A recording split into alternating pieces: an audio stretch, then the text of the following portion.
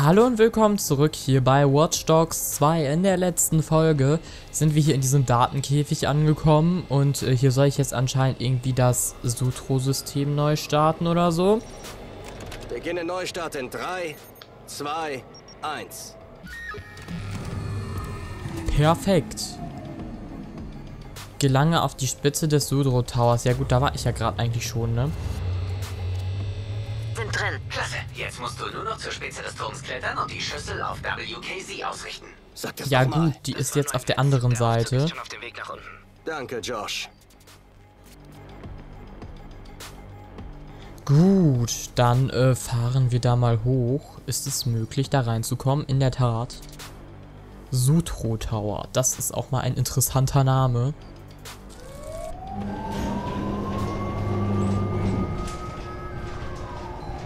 Wo zum Teufel soll da ein Fahrstuhl langführen? Durch so ein Bein durch, oder wie? Anscheinend.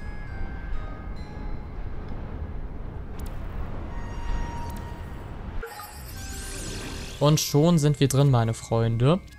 So, hier Du muss bist ich mal einmal gucken. Flugzeug gesprungen, oder? Pff, Mann, ich habe eins abstürzen lassen. Warst du schon mal Bergsteigen? Pff, Na klar. Und beim Stieren? Oh, scheiße, nein. Ja, genau. Was ist dein verdammtes Problem mit Tieren? Mann, scheiß auf Tiere. Wir sind im Krieg mit den Viechern. Die entwickeln sich und wollen uns in der Nahrungskette ersetzen. Je weniger die über uns wissen, desto besser. Halt, sogar Welpen? Vor allem die verdammten Welpen. Die haben die Gesellschaft infiltriert. Die lernen, was wir sind. Shit. Ja, wir holen dir einen Welpen. Hey, mach mich nicht zu einem Kerl, der Welpen tritt, Marcus. So einer will ich nicht sein. Okay, jetzt schauen wir uns erstmal mit den Kameras weiter um, denn das hier ist dann doch ein bisschen ungünstig positioniert. Ähm, sehr ungünstig, ehrlich gesagt. Okay, also so kriege ich das noch nicht hin. Gehe ich mal auf die Kamera da vorne. So ist jetzt der hier offen. Dann mache ich mal... Ist das krass gemacht dieses Mal. Ich bin dezent verwirrt. Okay, ähm, so haben wir auf jeden Fall schon mal hier oben Saft. Gehe ich jetzt mal darüber. Und mal darüber.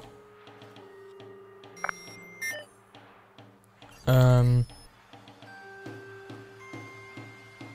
Das wird so nichts. Wir müssen hier noch die beiden... Boah, ich, es ist wirklich im Moment noch ziemlich krass zu checken, aber wir könnten theoretisch von hier aus hier so die Leute rausstalken.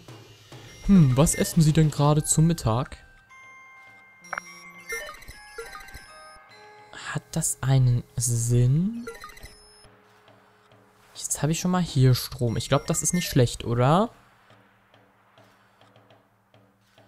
Das ist halt immer noch lock. Dann gehen wir mal auf die Kamera da vorne. Jetzt ist das hier offen. Dann können wir das einmal hier rumführen. Und wenn ich das jetzt so drehe, ist der da offen. Dann kann ich den so drehen, dass er hier allen Strom gibt. Dann ist der da jetzt auch offen. Dann drehe ich den jetzt einfach so. Oder so, dann hat auch alles Strom. Und dann wechsle ich jetzt wieder zu der Kamera. Dann könnten wir nämlich jetzt den da oben aufmachen. Und was da jetzt ganz oben ist, das sehe ich leider mit der Kamera nicht. Nice Job auf jeden Fall. So ist es aber möglich. Gut. Nice. Alter, wie schwerfällig der sich bewegen lässt. Coole Brücke da hinten. Daraus lässt sich ein cooles Thumbnail machen. Wenn ich daran mal wieder denke. Jetzt müsste es klappen. Nur noch die Feineinstellungen und so. Sieht gut aus. Josh und ich sind unterwegs. Oh, bring die mit. Ganz bestimmt. Hey, schicke Aussicht. Ja, schon gesehen. Flieg, Lightfoot. Und jetzt werden wir Zeugen einer schönen Blamage. Ist das auch richtig konfiguriert? Alter, ich quatsch dir auch nicht in deinen Kodierscheiß rein, oder? Leute, seid still. Ich hab's. hier mit dem CEO von Home, der eine Überraschung Oh, er hat eine Überraschung für Sie, okay. Ich habe unser neuestes Gerät dabei und präsentiere voller Stolz Home 2.0. Fuck ja! Mit einem einfachen Tastendruck können Sie... Das ist das DeadSec-Logo. Oh oh. Oh mein Gott! Klasse. Ausschalten! Das reicht, das reicht, das war's. Okay? Das war mal eine Blamage vom Feinsten. Willkommen. Home dachte, sie könnten euch täuschen. Sie verkaufen euch ein fortschrittliches Smart Home System, versprechen Privatsphäre, Sicherheit und mehr Komfort. Home verkauft eure Gewohnheiten, denn tatsächlich zahlt ihr eine monatliche Gebühr für das Privileg, an den meistbietenden verkauft zu werden. Es ist Zeit aufzuwachen. Fordert eure Persönlichkeitsrechte zurück. Wenn ihr die Information nicht kontrolliert, wird es ein anderer tun. Ihr könnt die Unternehmen bitten, euch gut zu behandeln, oder ihr nehmt die Sache einfach selbst in die Hand. DedSec hat euch die Wahrheit gesagt. Tut, was ihr wollt. Eine Demütigung! Steven, Steven! Das war ein Tiefschlag, mein Freund. Kann passieren. Du platziertes Arschloch, du hast gesagt... Nicht dein klügster Zug, Steven. In letzter Zeit hast du so einiges richtig verkackt. Setz dich. Mann, ich gab dir die Mittel, um... Du weißt schon. Mit all diesen Daten aktiv zu werden. Und du hast es total versaut. Und zwar im Fernsehen, Mann. Vermutlich macht gerade irgendwer ein Autotuning mit deinem Interview. Finger weg von DeadSec. Die sind meine Baustelle. Du musst dir nur überlegen, wie du meinen Anwälten erklärst, dass du mich angegriffen hast. Wird's denn gehen? Wird's denn gehen? Sag ja. Ja, Na bitte. Ich hol dir mal ein Glas Wasser. Wie gütig.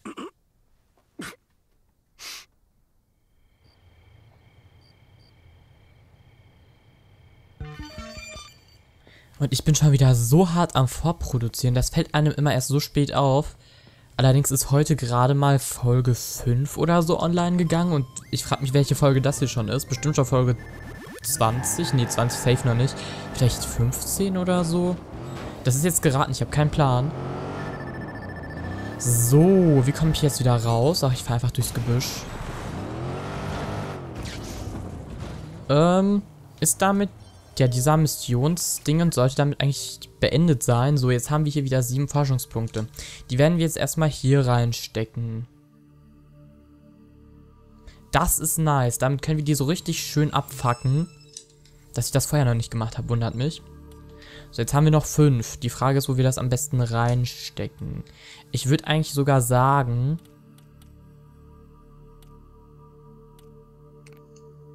Erstmal weiter hier rein, aber das können wir uns alles nicht leisten. Hierfür brauchen wir sechs. Was ist das? Erhöht die verfügbaren... Okay, um zwei. Ja gut, das können wir dann ja auch machen.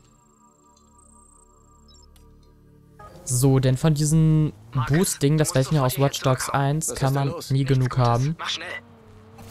Ja gut, wenn das nichts Gutes ist, dann können wir das ja direkt mal machen. Online-Operation, Online-Operation. Ich habe meine Playstation nach wie vor nicht verbunden, tut mir leid. Das müssen das könnten wir theoretisch alles noch machen. Ähm, du sollst sofort hierher zurück ins HQ, oder wie sehe ich das? Das können wir ja mal jetzt eben machen. Spiegelglas. Danach können wir die wie gemalt Mission anfangen und die ganzen anderen Missionen, die halt auch noch so da waren. Aber die Aussicht ist echt nice. So. Oh Gott, das äh, ist einfach gerade zu fair Dings.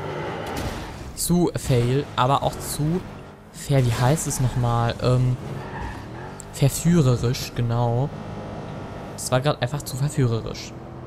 Ich frage mich aber auch, wieso Security-Leute mit so einer Karre rumfahren. Also, ähm, die ist ja auch ein bisschen übertrieben für die, obwohl die müssen ja eigentlich schon ziemlich schnell unterwegs sein. Nebenbei ist mir aufgefallen, dass man so ein bisschen im Mikrofon immer die Playstation hört, deshalb muss ich das immer alles raus ähm, filtern. Und das macht immer so extrem viel Arbeit, deshalb rede ich halt ein bisschen lauter. Und dann ist es wenigstens nicht auf meiner Stimme drauf. sondern halt nur dazwischen und dann filter ich das einfach wieder raus. Konsolenaufnahmen sind so kompliziert. Oh, ich bin einfach vorbeigefahren. Ups. Kaboom. Sorry, war ich nicht. Ups, das wollte ich nicht. Steck mal weg. Marcus, dem Weg. das Home-System auf dich? Wie ein CTOS-Sprössling. Also käme es für dich nicht überraschend, wenn sie einen Deal mit Bloom hätten? Nach dem, was wir ihnen angetan haben, schon. Ich wette, alle Abmachungen sind passé. Worum ging es dabei? Die Home-Software basiert auf CTOS-Code. Die haben Daten gesammelt und an Bloom verkauft. Mit Rabatt natürlich.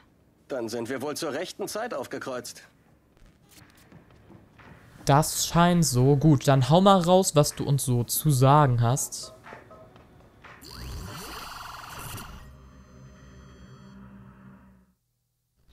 Shit, shit, shit. Shit, shit, shit, shit, shit, shit, shit. Hey Mann, was ist? Shit. Hey, was ist denn los? Ich habe mir die Zahlen angeschaut, wie viele Downloads unsere App hat, wie viel Rechenleistung verfügbar ist. Dann habe ich's gesehen. Es, was ist es? Ein Haufen Follower und Bots kamen von inaktiven und toten Invite-Accounts. Moment, jemand hat mit einer Social-Media-Seite unsere Zahlen gepusht? Wer? Und wie viele scheiß Accounts? Ich weiß nicht wer, aber es war jemand von Invite, jemand mit Admin-Zugang, da bin ich mir sicher. Tja, und wie viele?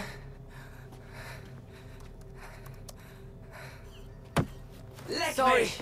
Sorry, ich hab's nicht geprüft. Nein, es ist meine Schuld. Ich hab's Josh, nicht es geprüft. ist nicht deine Schuld. Wer weiß, vielleicht ist jemand von Invite ein Fan. Ja, oder vielleicht will uns jemand in den Arsch ficken. prüfen sollen. Wir prüfen müssen sollen. das rausfinden. Marcus, ich suche dir einen Weg da rein. sollen. Ich hätte ich einfach Josh, prüfen sollen. Josh. Du bist nicht schuld, okay? Wir haben die Zahlen alle gesehen, nur du hast es bemerkt. Das war gut. Das war gut. Hä? Okay. Okay. Interessant. Neue DedSec-Mission. Verfügbar. Untersuche den falschen Invite-Code. Werden wir tun.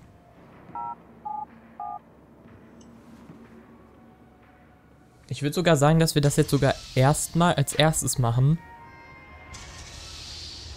Allerdings haben wir noch so viele Missionen, das ist einfach im Moment noch zu krass.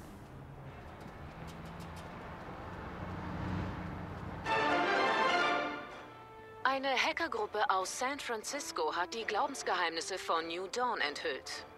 DedSec zeigte Material des New Dawn Tempels und wies nach, dass die sogenannten antiken Artefakte einfach nur Fälschungen von angeblichen alten Schrifttafeln sind. Mitgliedern der Hackergruppe gelang es, das bewachte Gelände zu infiltrieren und offenzulegen, mit welchen Methoden die Organisation ihre Mitglieder kontrolliert. Darunter Filmstar Jimmy Siska. New Dawn gab hierzu keine Stellungnahme ab. Wen wundert's? Die sind nämlich jetzt mal so richtig am Arsch.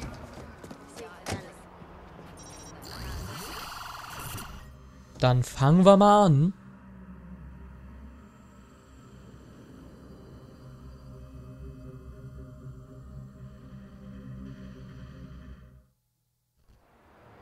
Ich höre. Ich schick dir die markierten Accounts. Benutzt den Computer der CEO, Mary Catskill.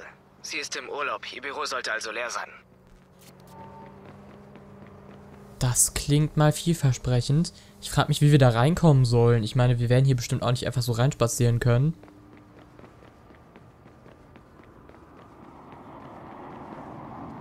Hier können wir nur wieder ein Ablenkungsmanöver starten, aber das brauchen wir im Moment noch nicht. Wir müssen erstmal einen Weg reinfinden und ich möchte mich da halt auch nicht einfach durchschießen. Ah. Ups. Das war jetzt nicht so geplant, aber na gut. Ist das ein Sicherheitsmann? Komme ich da rüber?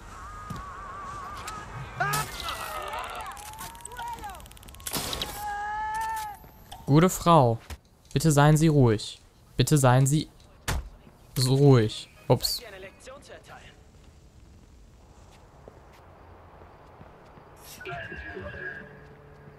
Okay, bisher sehe ich jetzt noch keine. So. Tschüss. Ähm, wie komme ich da rein? Habe ich jetzt noch nicht so ganz geblickt. Dazu brauche ich nämlich erstmal den Zugangsschlüssel. Den könnte ich mir doch bestimmt wieder durch irgendeinen so Geheimgang holen.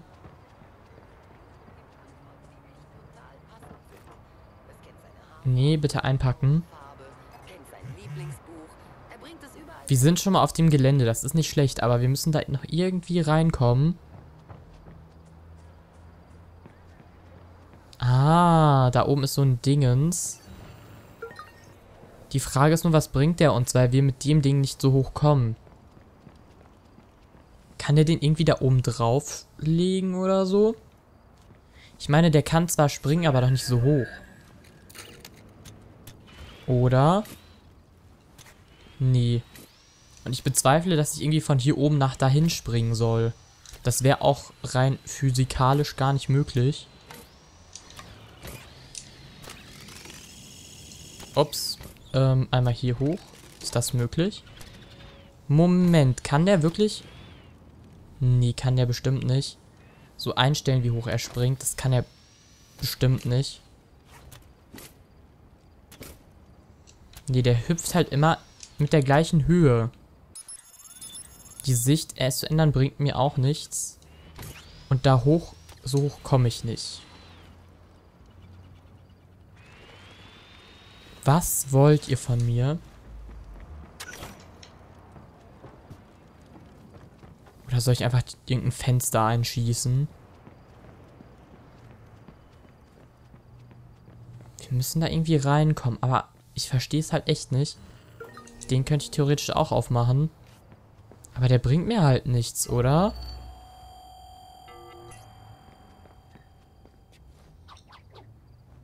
Der will da halt auch nicht reinschlagen ins Fenster. Ich bin wahrscheinlich gerade nur ein bisschen zu inkompetent. Tut mir leid, aber ähm, ist nun mal so.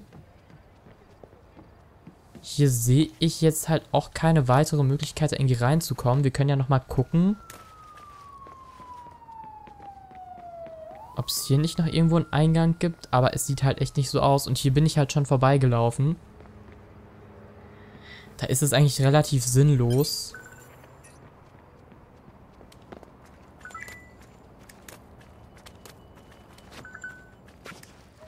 So, nochmal hier rüber. Ich habe echt keinen Plan. Also wir kriegen den da echt nicht rein, diesen Roboter-Ding ins Kirchen. Da war auch noch irgendwas, allerdings wird das auch... Oh, okay. Ja gut, ähm, mir war klar, dass hier irgendwo noch was sein muss, aber äh, nicht hier. So, einmal hier rein. So.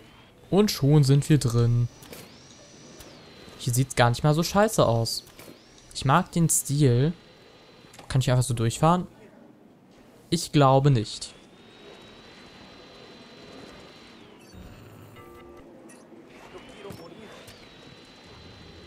Hallo, bitte putz weiter.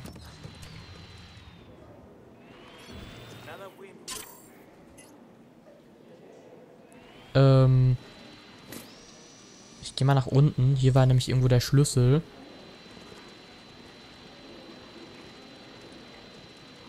Ich nehme mal an, ich kann jetzt wieder einfach so dreist durchrollen, natürlich. So. Und schon sind wir im Spiel. Laut Inmates AGB dürfen wir die Neuigkeiten und Posts von unseren Benutzern ohne ihr Wissen verwenden, um unser Business weiter voranzubringen.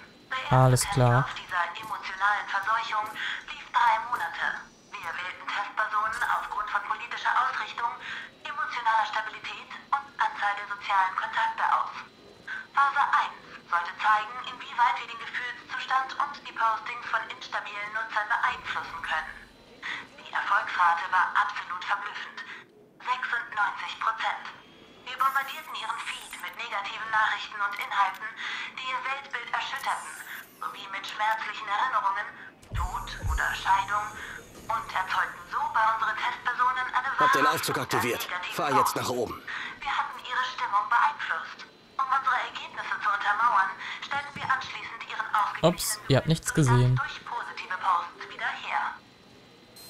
So, ach komm, ich rufe den jetzt einfach mal so zurück. Kann ich den jetzt direkt wieder benutzen? Tatsache. Okay, ähm, dann sollten wir jetzt theoretisch überall reinkommen, oder? Jap. Wonderful. Sei mal schön ruhig. Äh, okay, die wollte einfach nicht down gehen. Du hast nichts gesehen, du hast nichts gesehen, du hast nichts gesehen, du hast nichts gesehen. Nichts gesehen. So, dann fahren wir da jetzt mal hin, wenn der auch den Knopf benutzen möchte. Aber ich würde sagen, was es da in dem Büro zu sehen gibt, das sehen wir erst in der nächsten Folge. Bis dahin.